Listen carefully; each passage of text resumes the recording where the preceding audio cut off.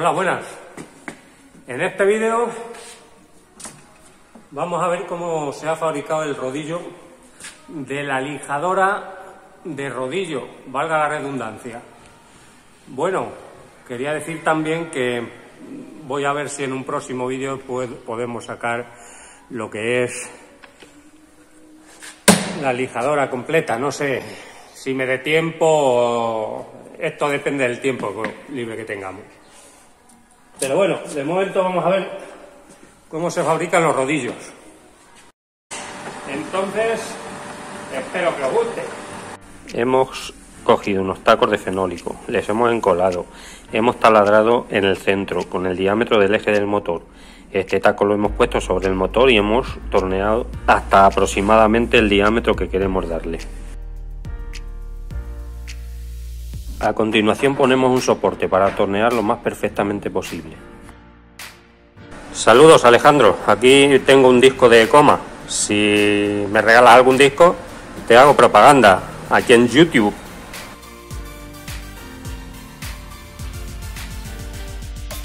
Pasamos con un poquito de lija.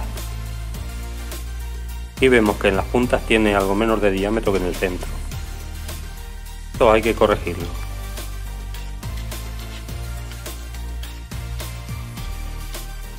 Una vez corregido, quitamos el soporte y repasamos con un poquito de lija.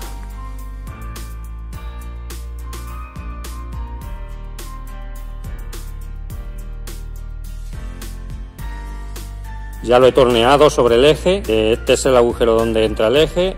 Preparamos el disco con la inclinación correspondiente para hacer una especie de trapecio a todo lo largo del rodillo. Voy a centrarlo Procedemos a hacer la ranura en el rodillo y aquí ha ocurrido algo que nunca me había pasado. Os fijáis, por delante del disco se ve una lucecita. Investigamos a ver qué puede ser.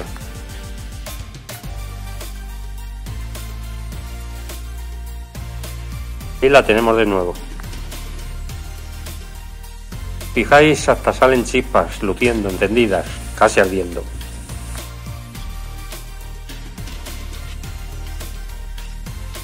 Podemos pensar que hemos pillado un tornillo, algún clavo, alguna piedra, pero no es así.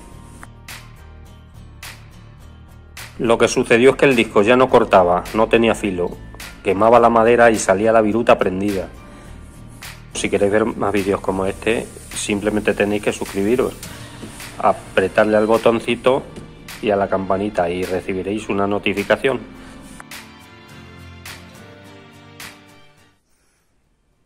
Aquí vemos la viruta quemada. Esto pasa cuando un disco no corta y le forzamos. Lo que hace es quemar la madera. Bueno, aquí vemos ya, le hemos hecho la canal en forma de trapecio.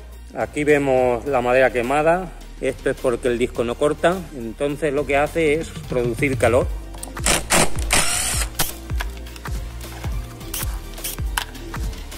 Bueno, aquí está el rodillo. Aquí vemos ya el rodillo con su canal en forma de trapecio que tener en cuenta que este vaciado que hemos creado hay que rellenarlo con el mismo peso más o menos. Entonces se pondrá la cuña y el peso de los tornillos e igualarán un poquito y equilibrarán el, rodillo. Bueno, como anteriormente vimos, había una pequeña variación entre el centro y las puntas. Vamos a calibrar a ver qué tal nos ha quedado. Importante que el rodillo quede lo más perfecto posible porque así la lija se ajusta al rodillo. Si no, nos quedarán unas bolsas cortado la lija a la medida y hemos doblado las puntas para que ajusten la canal. Damos la cuña con dos tornillos. Y esto te estás equivocando, cambia la de posición.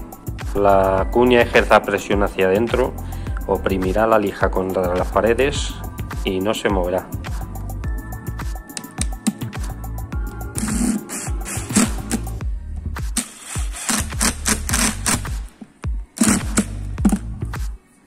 En un principio la idea era meter un pasador a través del rebajo del rodillo contra el eje, pero luego vimos que no hacía falta, simplemente ejerciendo presión se acuñaba contra el eje y esto no se mueve. Luego se, para sacarlo pues hay que ejercer presión por la parte baja. Bueno, hemos visto cómo se ha fabricado el rodillo, pronto trataremos de poner el vídeo de cómo se ha hecho la lijadora.